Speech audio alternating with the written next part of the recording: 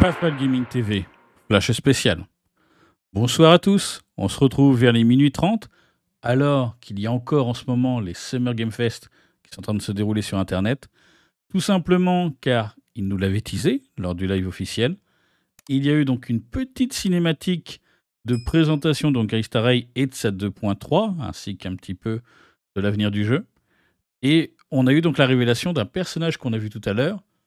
Vous pourriez m'appeler Leo parce que j'ai compris le futur, j'ai deviné ce que c'était, un véritable devin. On va regarder ça direct, je vous montre ça tout de suite sur les réseaux.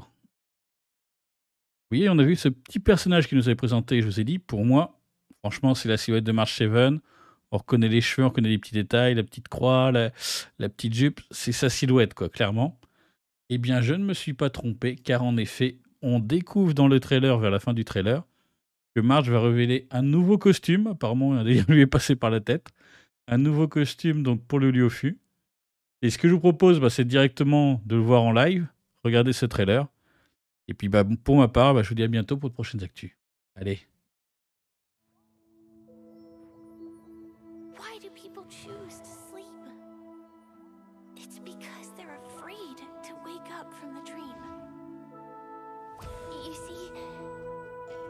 Everything is possible in this land of dreams.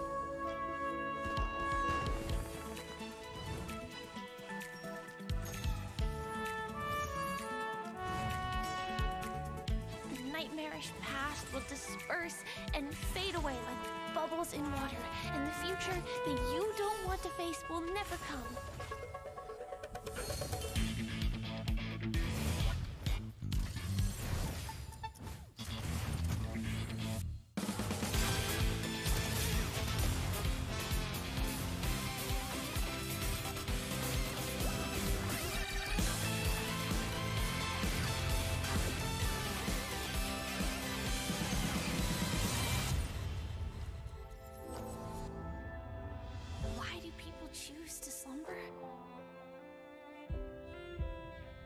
Because in the end, we will wake from our dreams.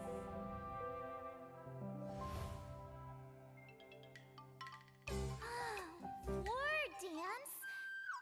I can't miss out. I'm joining too.